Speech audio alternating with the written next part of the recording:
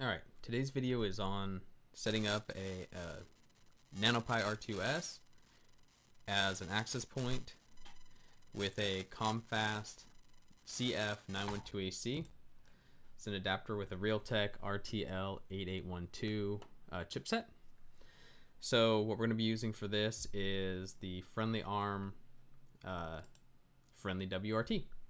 So to get started, I'm going to quickly set up my uh, micro SD card.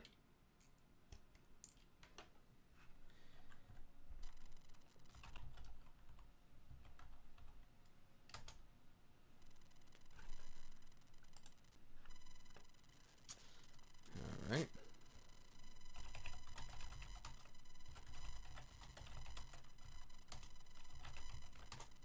This is what I do with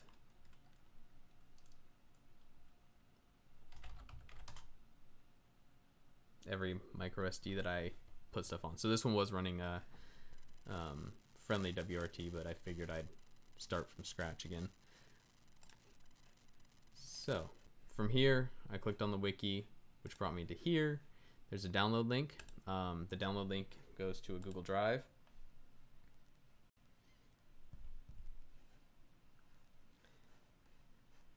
And we want friendly WRT.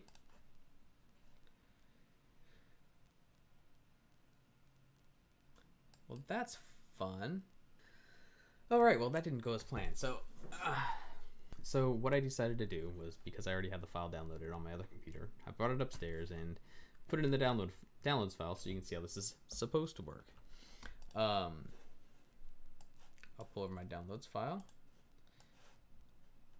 And as you see, here it is. Um, it comes in a zip file. I extracted the zip. I get this, and it's got that. So this is what we're looking for. Um, however, to validate that I have the correct checksum, I down I was able to download this from the site, and it has the checksum for the uh, zip file. So on Windows 10, this is how you can run a checksum. Uh, certutil dash hash file, uh, the file name. I'm actually in my downloads directory where this is, and MD5. So there it is and we validate that it's the same. And it is. I already looked at it earlier. So from there we can send it to our uh, USB drive. So we're going to use Win32 disk imager. I selected it. We're going to run it as administrator. We're going to select my file and sending it to the E drive. All right. So we're going to write that. Yes. It'll take a few minutes. All right, and through the magic of editing, we're done. All right, so we're gonna exit that. We'll pull this out. So now we got our micro SD. Pop it in.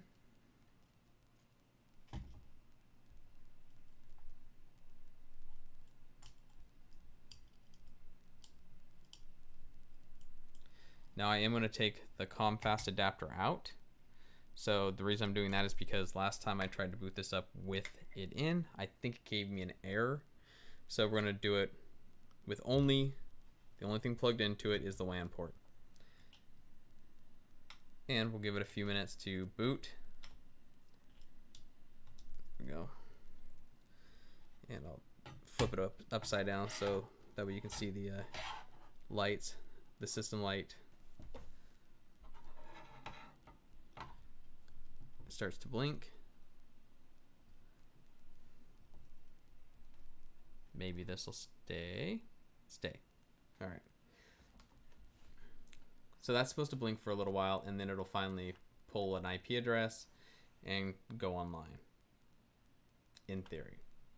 So we'll probably do some edit magic and see how it goes.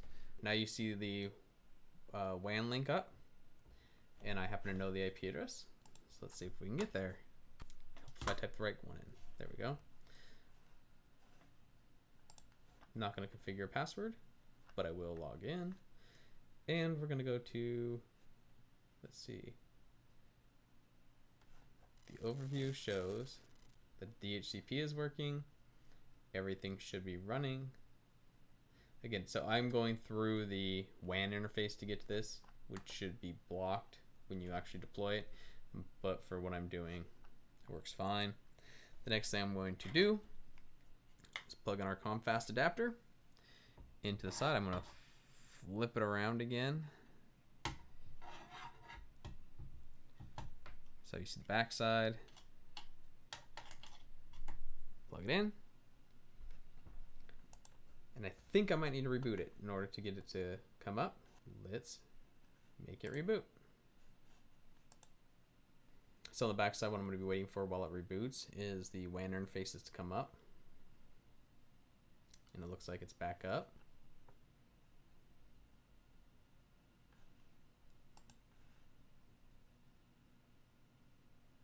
see if it actually comes up.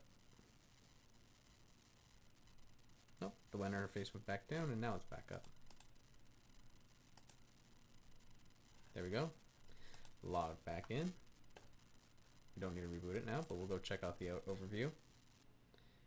And as of right now, we have DHCP, but we also have wireless that is broadcasting. Um, it's on channel 7, which I don't like. So let's go into wireless. It shows up now under the interface. It's right here. I can scan, change it. So I want to do AC. Channel 36, that's fine. And I don't remember what the key is to get on it, so we'll create a new one of my password. Save it. No. And then save and apply. Now, in theory, we should see it. Friendly WRT we're going to connect to it, not automatically. Uh, my password. I think I typed that correctly. Next. Sure.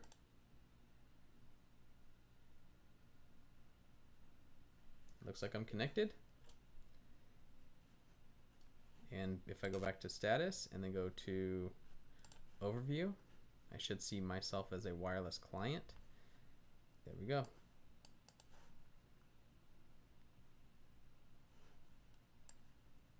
So that's it. It works out of the box uh, with a ComFast adapter. Um, obviously, you make tweaks and stuff like that as you want to um, the name and such, but it just works. Um, probably one of the next videos I'll do is how to connect instead of using the WAN port. I will use the adapter to connect to a wireless access point and use the wireless as a WAN, so it's a acting as a bridge essentially. So, anyways, I hope that uh, gets you where you need to be, and uh, have a great day.